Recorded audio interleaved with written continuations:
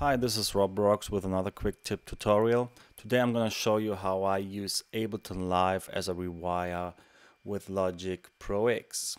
First of all, we're going to start Logic Pro X. Uh, let's open this one. Alright, so I got this little loop over here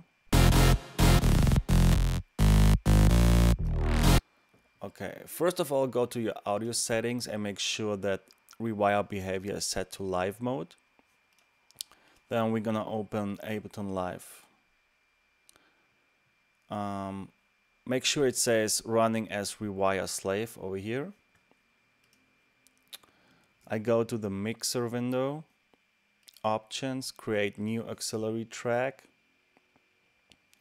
go to the track, set the input of the um, of the channel to Ableton Live left right.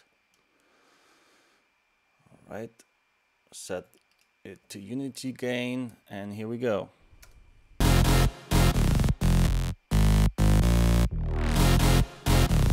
So I can use it as a loop player now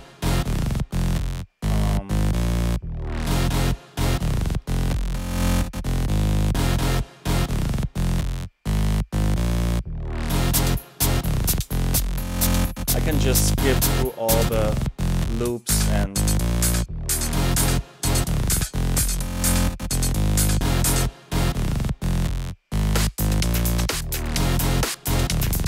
and it's always synced to the BPM of the song.